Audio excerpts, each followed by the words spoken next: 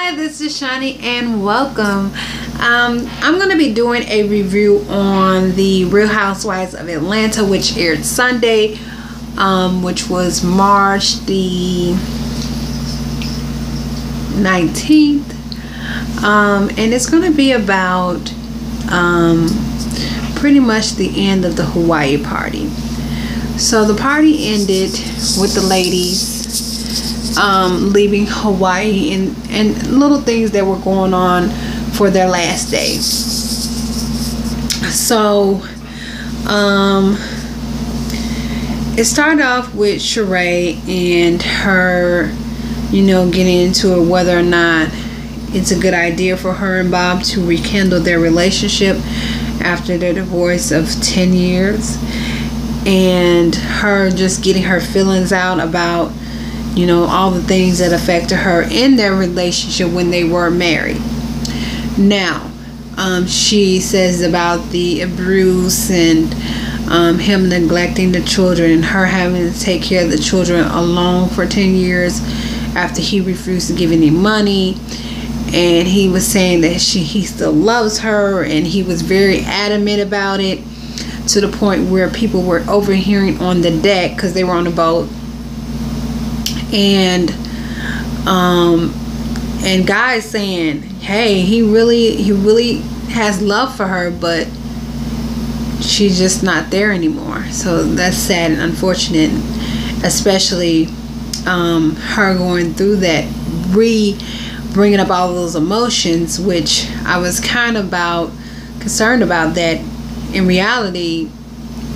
In fact being in an abusive relationship and her reconsidering getting back to him um, is not a good look. So I'm glad that she came up with to the reality that it wasn't the best thing for her. So good luck to Sheree and her future endeavors as far as finding someone to love her unconditionally without a bruise. So shout out to her. So um we go back into um, bringing up the divorce. So Kenya throws Cynthia and Sheree. Well, not Sheree, but Sheree comes in and talks about her divorce party. But she throws a divorce party for Cynthia and Phaedra.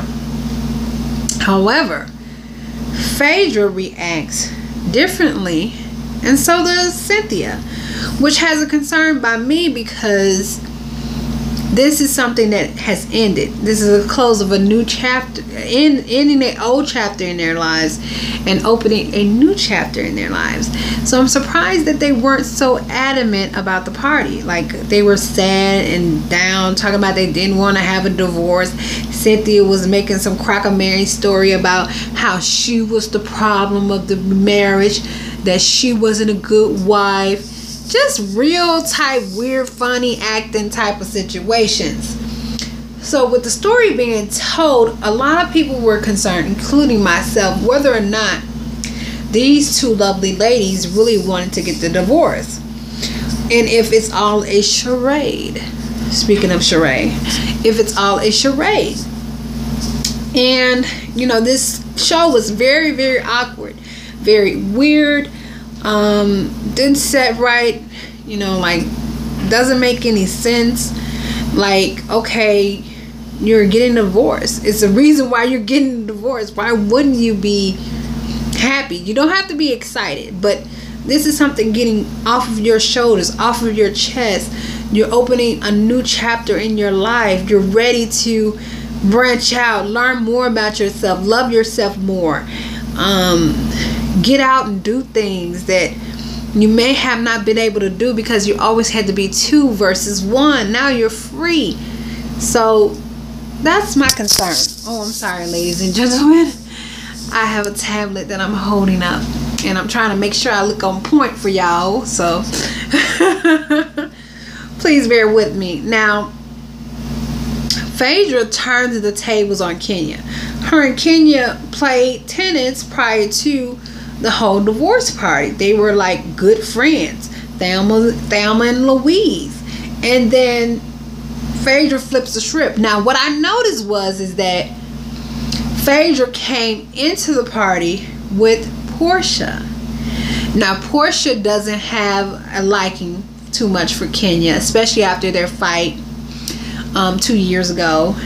So she came in with with Kenya, I mean, with with Porsha, Phaedra, I'm talking about, and her whole mood changed, and it was like a bad taste in her mouth, and how they were violating the principles of marriage, and I'm a good Christian woman, and what? if you were a good Christian woman, you wouldn't have got a divorce, right? Things would have worked out, right? But anyway, don't want to get too much in politics, but you got a divorce. It's time to move on. Time to heal and and relive and revamp on your whole life and your lifestyle. So that kind of blew me a little bit. So it seems as if um, next week, dum dum dum Matt will be back in the picture. So he says that him and Kenya had a little roll in the hay um, when he returned. So I'm gonna see what that's all about. But I know he's a little shady is in, in in regards to his character and especially some of the things that he done to Kenya property that I do not condone and um, I would be concerned if they're just these this couple called crazy in love where you know you do things to me I do things to you and but we still love each other unconditionally that kind of mm. but speaking of Matt and Matt coming back shout out to all about the tea um, .com there is a story going on and come to find out it's true in regards to something that Matt said. So if you are into all of the latest gossip please be sure to look out for that. They also have an Instagram page. Now I don't know them personally. I happen to be looking online and ran into it but it is so juicy. So I'm going to get into it. You can read more about it if you go and do your research or whatever. But let me tell you, yes, it's so good. So Matt on his Instagram page, I believe, he posts a video saying that he got the scoop from Todd and um, Peter that the ladies, their ladies, give them 10% of their earnings from the Bravo TV show Real Housewives of Atlanta. Because hey man you need to get Kenya to drop you some of that paper. Because when the reunion comes I guess they issue out the checks or whatever Bravo. And they were telling Matt, Peter, and Todd that he could get an incentive because he's helping Kenya have a storyline on the show, stating that he would get $10,000. $10,000 immediately after the reunion from Kenya. So Matt plays this Mr. Nice Guy. I really ain't down about this. I really care for Kenya. She's my lady. And all of this crap. But push comes to shove, he he throws that at Kenya about him getting the money. He says Kenya wasn't down for it. Now my thinking in logical terms, because Kenya wasn't down for it, is this the reason why Matt began to destroy Kenya's property because he felt like, hey, yeah, the guys are right. They put that notion in his mind. He said that Kenya agreed to actually pay him the $10,000. However, she didn't fit the, you know, do the whole deal bargain. She didn't come up with the end bargain of the deal. So he was like, Peter and Todd told me about it. So Peter comes with this video, which looks awkward as hell, of him like with this grass background. Like, what the hell is he? Is this is he? Is this guy laying down or what? Is he? But whatever it is, it seems as if he had it choreographed. Like he had um and planned and script. He had like a really awkward background. You know, the lighting was perfect. Unlike my lighting, but hell, whatever. The lighting was perfect. You know, he had some some glasses on, and he was like, "Hey, Matt, let me talk to you." So what you said was right. Yes, we did come to you, me and Todd, after around the time of Sheree's housewarming party, and told you that um you should be asking Kenya to give you 10% since you are part of her um, storyline on the show. You making her storyline because Kandi and Cynthia give us 10%. So that kind of blew my mind. Like, what? These ladies are paying these guys for the drama to stay on the show? Like, they're really getting to that level in, in regards to entertainment and staying on the show. So this is very interesting to find out and to learn. And it kind of like it's just too much. Um Phaedra is back to uh, what Shady Phea Phea as Sheree says in regards to her whole flipping the script like totally um bipolar in a sense with her relationship with Kenya.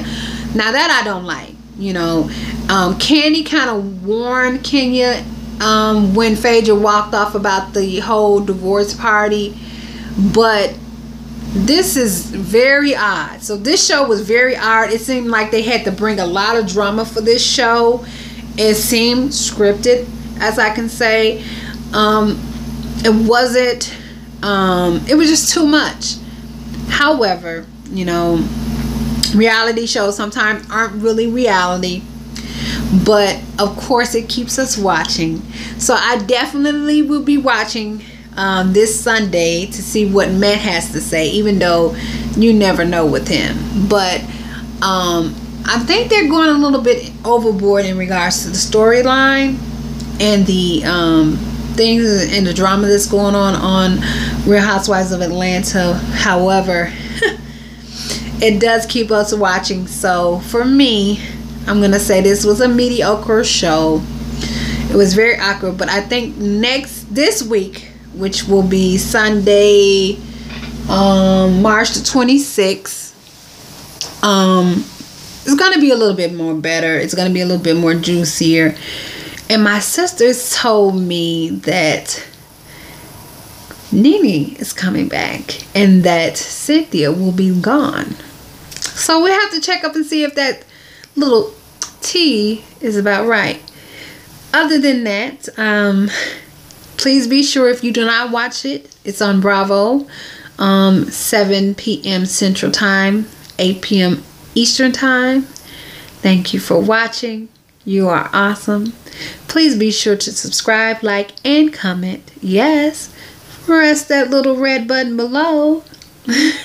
you are awesome. Bye.